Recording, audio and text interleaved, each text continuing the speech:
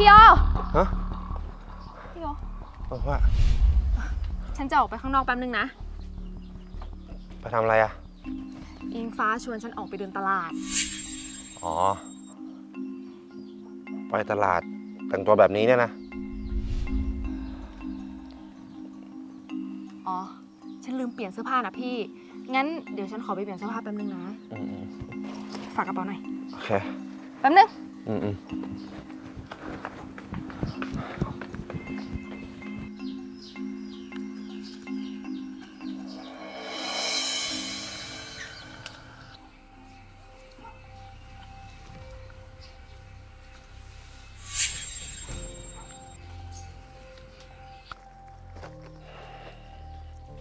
พี่โอฉันไปก่อนนะเออเดี๋ยวก่อนจิ๊บ ไปตลาดกับเพื่อนไม่ใช่เหรอ แล้วถุงนี้ไปทำไม อ๋อ ในถุงนี้มีเสื้ออีกหนึ่งผืนนะพี่ มันขาด ฉันก็เลยว่าจะเอาไปซ่อมซะหน่อย ขาด ขาดก็ทิ้งเลยสิ ไหนๆก็จะไปตลาดอยู่แล้ว ไปซื้อใหม่สักสองสามตัว รู้แล้วนะ่า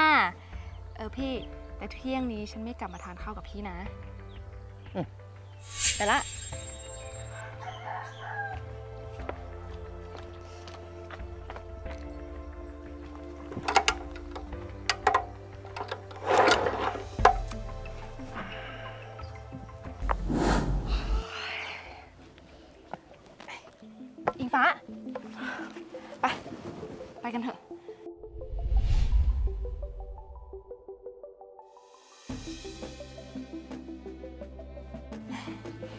ฉันเปลี่ยนเสื้อผ้ามาแล้วล่ะ เออจิ๊บฉันจะบอกแกไว้ก่อนนะ เจ้านายที่เราจะไปทำงานด้วยอะเขาเป็นคนขี้โมโหอารมณ์ร้อนเฮ้ยเราจะทนแรงกดดันไหวไหมเนี่ยจิ๊บไม่เป็นไรหรอก เราทำงานของเราให้ดีก็พอแล้ว ไป ไปกันเถอะ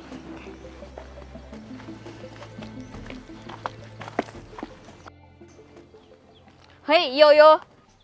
นี่นายจะไปไหนอะ่ะ อ๋อ จะไปทำธุระข้างนอกแป๊บนึง เออ จิ๊บกับอิงฟ้าไปรับจ้างก่อสร้างแล้วเหรอ ไม่ใช่หรอกมั้ง เห็นจิ๊บบอกว่าจะไปจ่ายตลาดกับเพื่อนอะอืมงั้นเดี๋ยวไปก่อนนะ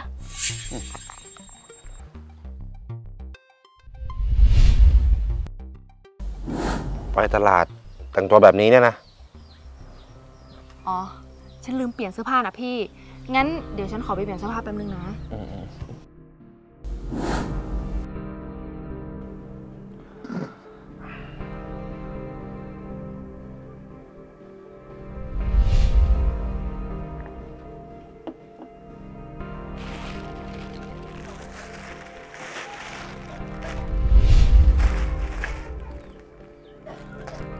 ย่าอะไรเยอะแยะเนี่ย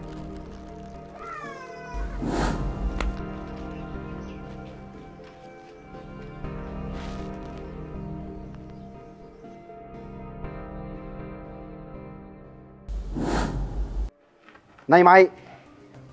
ให้นายไปหาคนงานสองคน แต่นายกลับหาผู้หญิงมาทั้งสองคนเลยเหรอ นายนี่ทำงานไม่ได้เรื่องเลยนะ อะไรนะ เอ้ยเออเออแค่นี้แหละ เท่าแก่คะเท่าแก่ให้พวกเราสองคนทำงานที่นี่เถอะนะคะ พวกเราทำงานหนักได้ค่ะ ใช่ค่ะเท่าแก่ เออเออเดี๋ยวรักพ่อแกสองคนเข้าทำงานก็ได้ แต่จะจ่ายเงินให้แค่สองร้อยนะ ค่ะ ขอบคุณค่ะ ขอบคุณนะคะรีบไปทำงานได้แล้ว อู้งานล่ะเอ้ยเห็น ไหมเอ้ย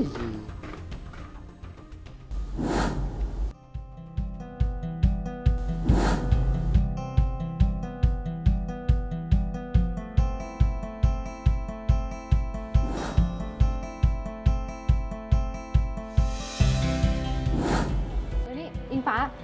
เดี๋ยวฉันขอไปเปลี่ยนผ้าอนามัยก่อนนะ อืมอืมระวังนะ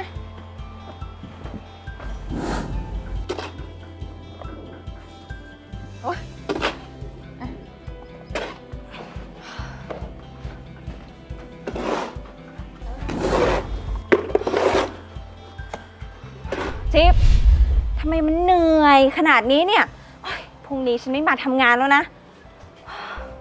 อิงฟ้า เธอนั่งพักก่อนเถอะ เดี๋ยวที่เหลือเราทำเอง นี่ทำไมแกถึงได้ขยันทำงานขนาดนี้เนี่ย ฉันบอกตรงๆเลยนะ งานนี้ทั้งเหนื่อยทั้งสกปรก เนื้อตัวก็มอมแมมไปหมดแล้วเนี่ย แล้วที่สำคัญนะยังได้เงินน้อยน้อยทำไงได้ล่ะอิงฟ้าก็ค่ายามันแพง กระปุกหนึ่งก็ตั้งหลายร้อยบาท ใครไม่สบายเหรอจิ๊บ ก็แม่ฉันนะสิ โรคเก่ากำเริบอีกแล้ว หมอบอกว่าต้องทานยาเป็นประจำทุกวันไงเกิดเรื่องแบบนี้กับแม่เธอ แล้วทำไมเธอไม่บอกกับพี่โอล่ะลำพังแค่งานของพี่โยก็หนักมากพอแล้ว อีกอย่างนะ ค่าใช้จ่ายที่บ้านก็เยอะ ฉันไม่อยากเพิ่มภาระให้กับเขาน่ะ ไม่เป็นไรนะ สู้ๆ เดี๋ยวแม่แกก็ดีขึ้นเองแหละ ขอบใจนะ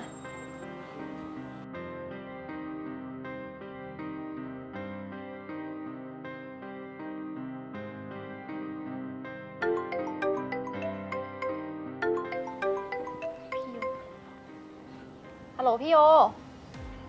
จิ๊บกินข้าวหรือยัง ฉันทานแล้วล่ะจ้ะ นี่ ฉันสั่งของอร่อยๆ มากินกับอิงฟ้าเต็มเลยหรอ ดีแล้ว งั้นถ้าเดินตลาดเสร็จแล้วก็รีบกลับบ้านนะ จ้ะ ฉันจะรีบกลับนะจ๊ะ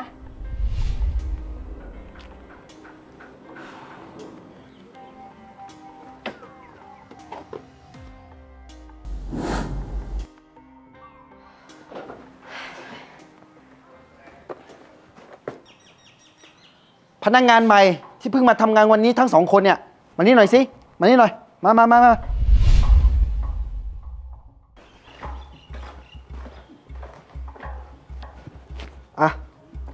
นี่เป็นค่าจ้างของพวกคุณสองคนนะ คนละห้าร้อยผมไม่มีแบงค์ย่อย เอาไปแบ่งกันล่ะ ไหนเท่าแก่บอกว่าให้คนละ100ไม่ใช่เหรอคะ นี่มันสมัยไหนแล้ว ถึงจะเป็นชายหรือว่าเป็นหญิง ผมก็จ่ายค่าแรงเท่ากันนั่นแหละ อะ ขอบคุณค่ะ ขอบคุณนะคะ ไปรีบกลับบ้านได้แล้ว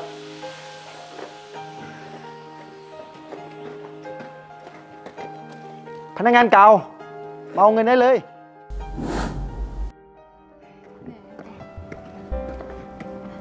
จิ๊บ นี่ ฉันให้แกนะ ไม่เอาอิงฟ้า แบ่งกันคนละครึ่งสิ เอาหน้าแกเก็บไว้เถอะ ฉันไปก่อนนะ อิงฟ้า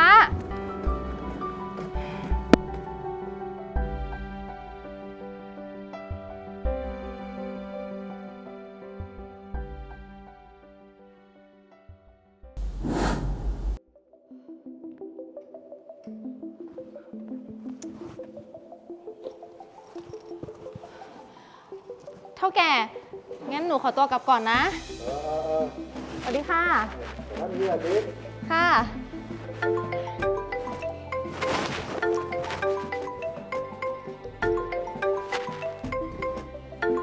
แม่ ฮัลโหลค่ะแม่ จี๊บทำไมลูกถึงส่งยากลับมาให้แม่เยอะขนาดนี้ล่ะ ฮะ อะไรนะแม่ หนูไม่ได้ส่งไปให้นะจ๊ะ แต่แม่เพิ่งได้รับวันนี้เองนะ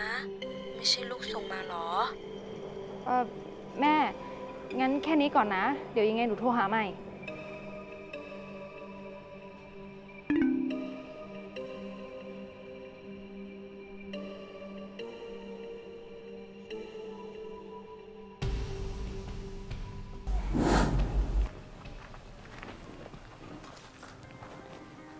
พี่โย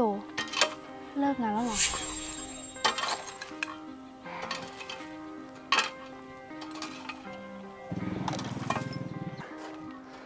พี่โยอ้าวจิ๊บทำไมวันนี้พี่เลิกงานไวจัง อ๋อ พี่เสียงานไวอะ พี่เลยได้กลับบ้านก่อน เออ จิ๊บ พี่ทำกับข้าวให้แล้วนะ จะไปกินก่อนเลยพี่ขอเคลียร์หน้าบ้านแป๊บนึง พี่หึพี่รู้แล้วใช่ไหมว่าแม่ฉันป่วย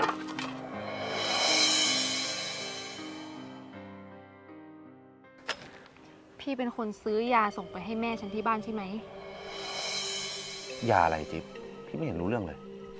พี่ไม่ต้องมาโกหกฉันหรอก นอกจากฉันแล้วก็มีพี่แค่คนเดียว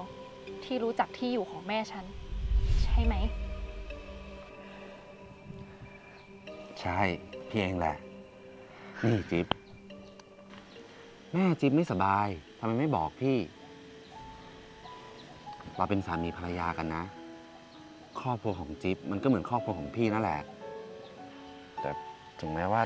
ฐานะของพี่จะไม่ได้ดีเหมือนคนอื่นเขา แต่มันไม่สมควรหรอกนะ ที่จะให้จิ๊บไปทำงานตากแดดตากฝน เพื่อที่จะหาเลี้ยงครอบครัว ก็ฉันไม่อยากให้พี่ต้องมาแบกรับภาระเพิ่มนี่พี่โย มันภาระอะไร พี่เป็นหัวหน้าครอบครัวนะ มันเป็นความรับผิดชอบของพี่อยู่แล้ว ต่อไปมีเรื่องเดือดร้อนอะไรอย่าเก็บไว้คนเดียวนะอืมดีมากไปไปกินข้าวดีกว่ากับข้าวเย็นหมดแล้วทำงานบ้านเถอะ